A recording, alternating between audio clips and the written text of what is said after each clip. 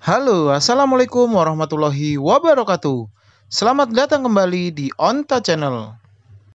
Pada video kali ini, saya mau sharing bagaimana cara menghilangkan password saat kalian akan login ke Windows 11. Buat kalian yang pengen tahu bagaimana caranya, silakan kalian simak video ini.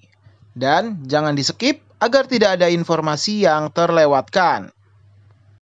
Oke, sebelum kita mulai tutorialnya, di sini saya akan tunjukkan versi Windows 11 yang saya gunakan. Nah, ini dia versinya. Saya menggunakan Windows 11 Home. Oke, ini dia teman-teman ya, Windows 11 Home. Tapi tenang aja, meskipun di sini saya menggunakan Windows 11 Home, kalian bisa gunakan cara ini untuk Windows 11 profesional ataupun Windows 11 versi yang lainnya. Oke, kita langsung mulai saja tutorialnya. Silakan kalian klik kanan pada tombol Start. Lalu kalian klik Setting.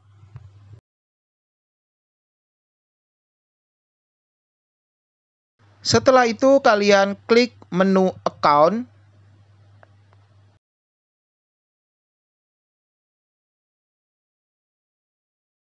Selanjutnya, kalian klik Sign In option.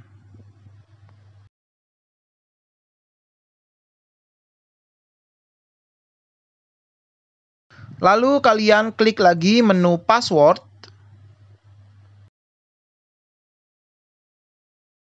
Kemudian klik change.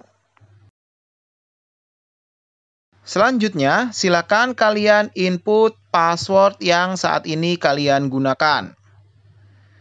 Jika sudah, kalian klik next. Kemudian, kalian akan diminta untuk input password baru. Nah, ini kalian kosongkan saja, teman-teman.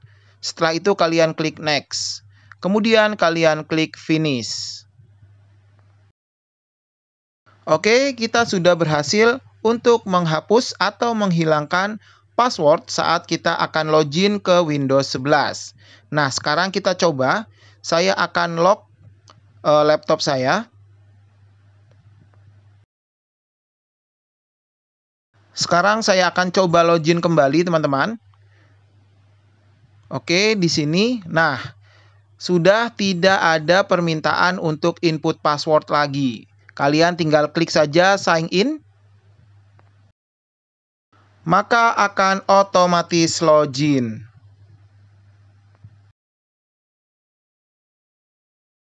Kemudian sekarang bagaimana jika kalian ingin memberikan password kembali saat kalian akan login ke Windows 11?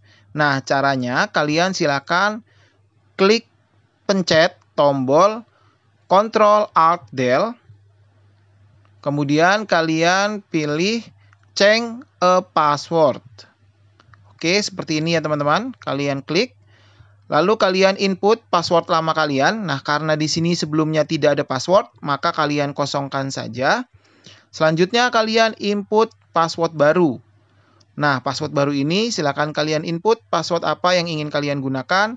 Kemudian kalian confirm dan kalian klik next. Maka nantinya Windows 11 kalian akan uh, tersetting password kembali ketika kalian akan login. Oke, sekian tutorial dari saya. Semoga ini bisa bermanfaat untuk kalian. Dan mohon supportnya untuk like, comment, share, dan subscribe agar channel ini bisa terus berkembang. Terima kasih.